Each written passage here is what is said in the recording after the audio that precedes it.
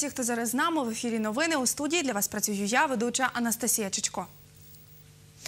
На 17% зросте вартість холодної води у Тернополі. Про це сьогодні на брифінгу повідомив начальник планово-економічного відділу комунального підприємства Тернопільводоканал Володимир Водовіс.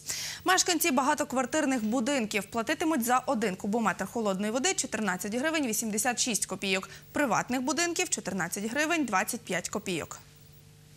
Попередні тарифи для мешканців багатоквартирних будинків становили 12 гривень 62 копійки, а для мешканців приватних будинків 12 гривень 14 копійок. Тобто ріст е, складає 17,5%. 17,7 для багатоквартирних будинків, 17,5 для приватного. Для абонентів, які подали показники е, до 14 жовтня, буде відбуватися нарахування плати по старому тарифу. Абоненти, які подали е, показники після 14 жовтня, буде е, проводитись нарахування за двома тарифами, відповідно враховуючи дату, коли надавався попередній показник, і е, коли цього місяця буде наданий показник, буде враховано пропорційну кількість днів дії тарифу і термін, під якого надавався попередній показник. За словами Володимира Водовоза, підняття цін на холодну воду пов'язане зі зростанням цін на електроенергію. Комунальне підприємство Тернопільводоканал зараз боргує понад 11 мільйонів гривень за спожиту електроенергію. Також нові тарифи враховують зміну прожиткового мінімуму, який підняли 1 липня 2018 року до 1777 гривень і мінімальної заробітної плати, яка з 1 січня 2018 року зросла до 3 до 3723 гривень, каже Володимир Водовіс. Зазначив, востаннє піднімали тариф на холодну воду у Тернополі в березні 2017 року. Сьогодні близько 11 години у Тернополі на перехресті вулиць Степана Бандери, Слівенської і Коновальця сталося ДТП. Зіткнулись автомобілі Honda і Volkswagen. Внаслідок аварії Volkswagen зніс металеву огорожу, проїхав тротуар, кущі і зупинився на газоні, вдарившись до бетонної конструкції. За словами поліцейської Ірини Доскоч, госпіталізованих внаслідок ДТП немає. На місці працювали слідчі, які з'ясовували причину автопригоди. Зараз ви бачите кадри із місця події, які зафіксували наші кореспонденти.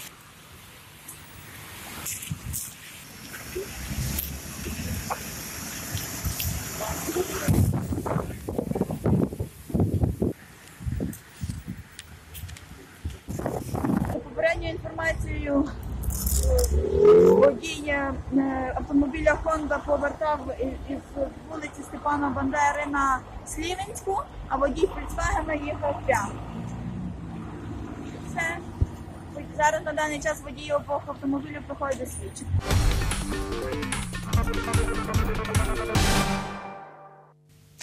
Перший регіональний кар'єрний форум профорієнтація 2018 відбувся сьогодні у Тернопільському обласному центрі зайнятості. Участь взяли близько ста підприємців, освітян і школярів старших класів, розповіла начальник відділу організаційної інформаційної роботи обласного центру зайнятості Олена Рак. На події був наш кореспондент Тарас Бурак. Сьогодні проходить перший регіональний кар'єрний форум профорієнтації 2018. Аналізуючи стан ринку праці бачачи ту е, дисбаланс між попитом і пропозицією е, е, на ринку праці, тобто ми приходимо до висновку, що дуже багато людей, вибираючи професію, не думають, як їм на завтра буде працевлаштуватися і чи до душі дана професія. Тобто рік профорієнтації і безумовно сьогоднішній захід під- підтверджує те, що профорієнтація дуже важлива. Е, В тому плані, е, е, що потрібно нею займатися починаючи зі школи і закінчуючи вже з тими випускниками шкіл. Під час кар'єрного форуму для 20 школярів провели профорієнтаційну гру Територія успіху. Старшокласників поділили на чотири команди. Вони виконували завдання, спрямовані на розвиток комунікативності. Андрій Мисак, учень 11 класу першої теребовлянської школи, взяв участь у грі. Планує навчатися у Києві. Я би хотів е, навчатися у Києві на комп'ютерного інженера або в захисті, кіберзахисті, щось типу того.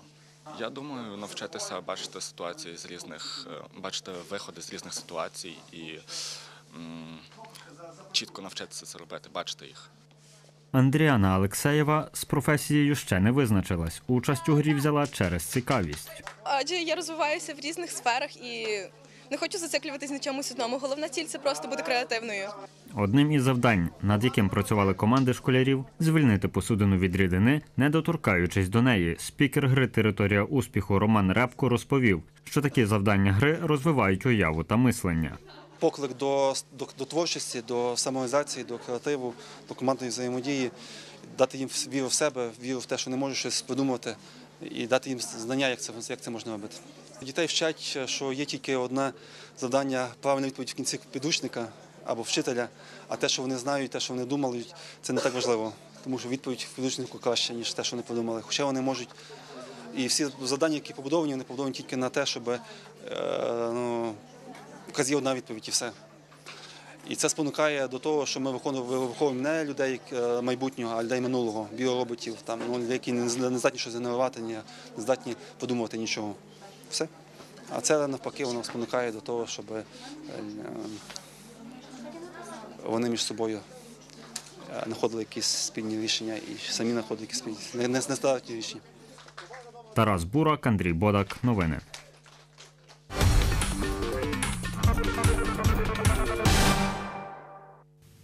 У Тернополі провели вишкіл територіальної оборони ветерани патріотам, до якого долучились учасники обласного патріотично-мистецького фестивалю Вставай сонце. Майстер-класи організували під керівництвом офіцера спецбатальйону Тернопіль Романа Мельника. Ніколи безпідставно ні в кого не стріляють. Тільки ворога і тільки по команді. Той короткий візьме або той 762. Зараз ми почнемо з фундаментальних занять, тобто дамо самий початок, е, що таке зброя, для чого вона є, як з нею працювати, що робити. Взагалі вишкіл побудований на тому, щоб навчити е, молодь е, та підлітків правильно користуватися зброєю, знати, що з нею робити, вміти захистити свій дім, вміти захистити себе. Моя особиста позиція і позиція моїх друзів, інструкторів, які в принципі започаткували цей вишкіл, і вже 4 роки поспіль ми його проводимо.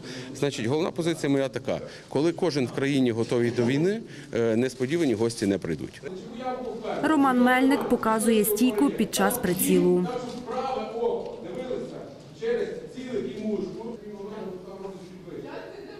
В рамках фестивалю сьогодні ми вирішили е, все ж таки об'єднати наші зусилля в, в- тому сенсі, що артисти артистами, щоб це не виглядало, що артисти вони от такі от тендітні дуже там особи, які не дотичні до, до того, що відбувається загалом в країні. Це насправді війна, і невідомо, як будуть розвиватися події, і чи вона завтра вона може бути і навіть тут. Тому для того, щоб розуміти ситуацію і вміти вийти з, ну, ситуації, яка може статися.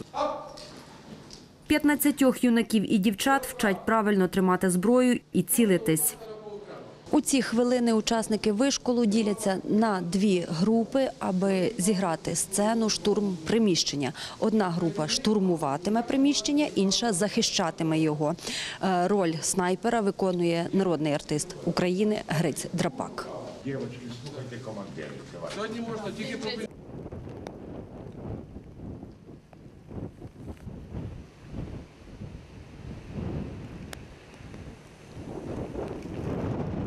Це не так просто заховатися, щоб ти всіх бачив, а тебе щоб ніхто не бачив. Ну і виконувати задачу командира, який дає тобі команду, що ти маєш робити. Стріляти вмієте, досвід маєте? Досвід в мене дуже добрий. Я служив в армії. І, і знаєте, зараз йде війна, і це так, це навіть не жарти. Це кожен повинен знати, якщо тобі зброя попадає в руки, маєш захищатися, не нападати. За словами інструктора вишколу Романа Мельника, зброя навчально-імітаційна, макети масштабно-габаритні, стріляють холостими пострілами. Місце на таких вишколах абсолютно всім, тому що оскільки нас зараз триває війна, це потрібно знати кожному. А сьогодні я дізналася, що зброя, яка навіть на мені висить, надзвичайно важка. І як мені повідомили, вони дали нам найлегшу зброю. І ці бронежилети, каски це дуже важко з ними всіма бігати, шоломи точніше. І е, люди, які цим займаються серйозно, які зараз захищають Україну, я розумію, що це нереально важка праця.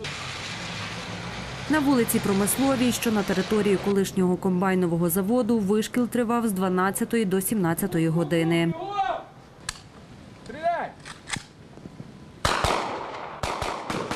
Марія Котенко, Юрій Багрій. Новини.